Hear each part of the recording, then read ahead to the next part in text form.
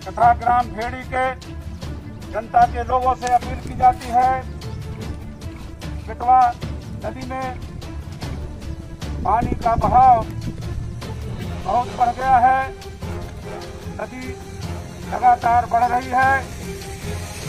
अतः आप लोगों को निर्देशित किया जाता है कि अपनी सुरक्षा के लिए नदी के किनारे न तो भैंस नहवाइए और न ही मछली आज मारिए। अथवा आपके साथ कोई दुर्घटना हो जाएगी, आप फिसल जाएँगे।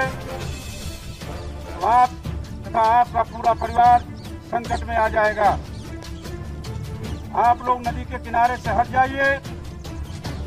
और अपने भैंसों को अपने घर ले जाइए, नल पे धोइए, परंतु नदी के किनारे आप लोग कतई किसी भी प्रकार से न रहिए। आप लोग अपने अपने घर जाइए, नदी के किनारे इस समय फिसल सकते हैं आप, और आपके साथ कोई दुर्घटना घटित हो सकती है। इससे समस्या आ जाएगी और आपका परिवार संकट में पड़ जाएगा।